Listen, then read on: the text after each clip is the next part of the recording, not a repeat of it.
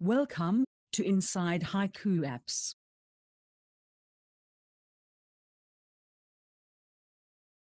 Hey, hello. It is the 30th of October 2023, and South Africa has just won the Rugby World Cup again. So, to all my French, Irish, English, and New Zealand friends, better luck next time. Be the bigger man, don't unsubscribe. You'll get there eventually. Okay. I got a comment the other day saying I should talk a little bit more about features of haiku. So today we're going to talk a bit about Stack and Tile. Now Stack and Tile is not an app. It's not a program that you run technically, I suppose it's uh, a part of Tracker, but it's very, very deep in the system and it's always running. But it's not obvious.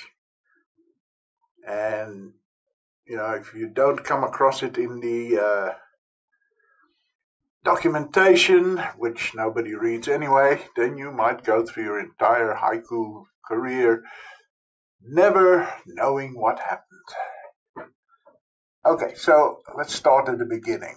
Here is a window and it's got this little yellow tab.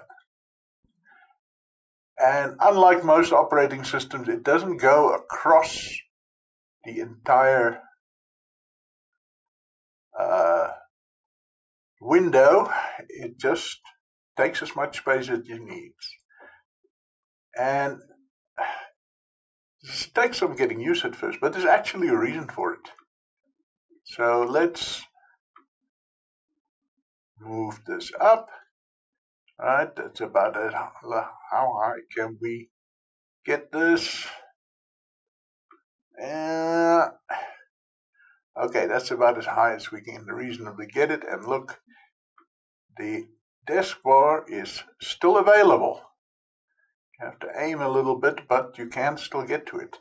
More normally, you would have it here, and it's very easy to get to the Deskbar. Then, if you hold down Shift, you can move this. Can move this to wherever you like, and it'll stay there until the next time you run the program. Then it defaults back to where it started.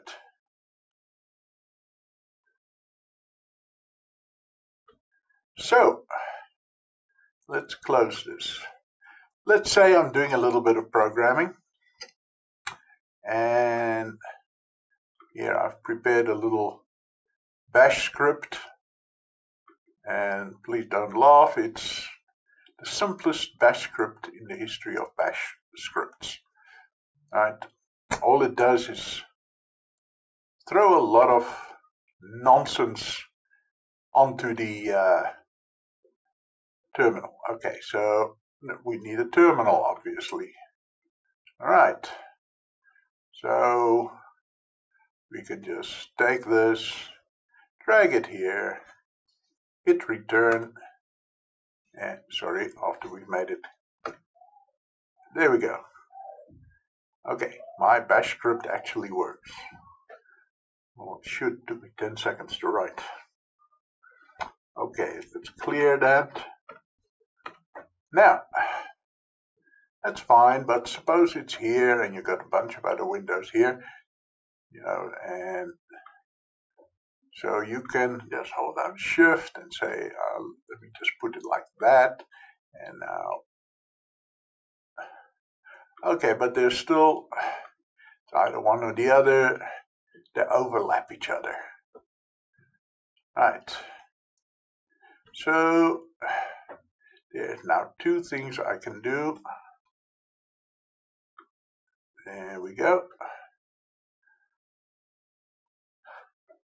I can now either make this a tabbed interface, right? So now you have to hold down a key while you drag things.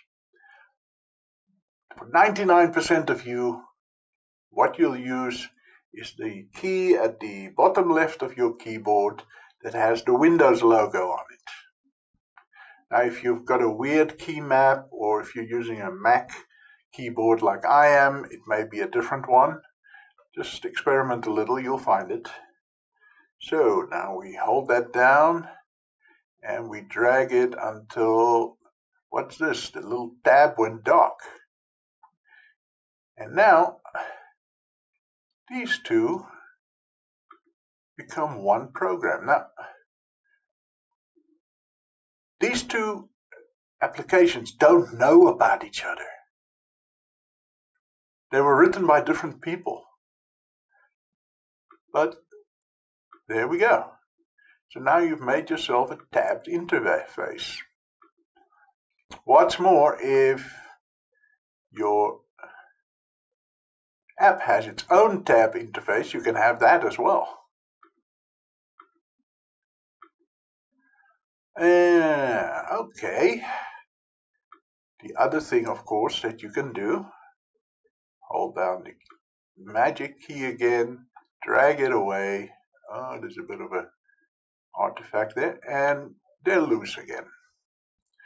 Now, since I'm writing a bash script, maybe I also have some instructions. In this case, a little uh, web page. So I can now do something else. I can again hold down this magic key. This time I'm not going to make a tab, I'm going to do this. Now what, what happened here? Those two borders suddenly become dark. Then you can let go. And now, look at that. Let's add a third one. So if I now want to hide one of these because something else is happening, all three of them are gone and all three of them reappear. And I can still resize one or all of them separately.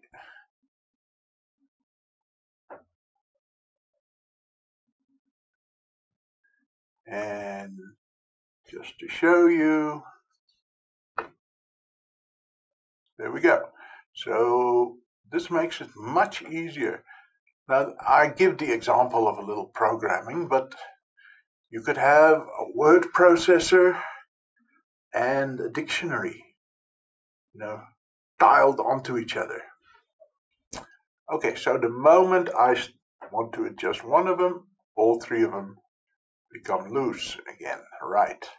So now let's really do something complicated. I decide that I don't really need this thing visible at all times.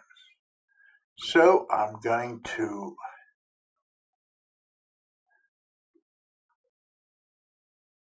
stack them, make a little tab interface, and then I'm going to take this whole thing and I am going to, and that didn't work. Why did that not work? Well, because there's a bit of priority there, but you can do it this way. Right, and once again, all three of my programs are there. Right, there's my text editor, here's my terminal, and there is my little web page with the instructions. And that's stack and tile. Now the thing about moving this little tab comes all the way from the BeOS days. It's always been there. But stack and tile was invented, as far as I can remember, by some guys at the University of Auckland in New Zealand. And they gifted this to Haiku uh, somewhere around Alpha 2, I think it was. Correct me if I'm wrong. And so this becomes very useful once you understand how it works and once you've played around with it a bit. And it works with any two windows, as long as they have a tab, you know. There are a few uh, notifications and stuff that don't have the tab, and those probably won't stack or tile. But you can do any combination of this. You know, you can have next to each other, you can have them tab like that. And that is something that I am not aware exists in any other operating system. It's unique to Haiku. Okay, so that is stack and tile. Play around with it a bit and you'll see just how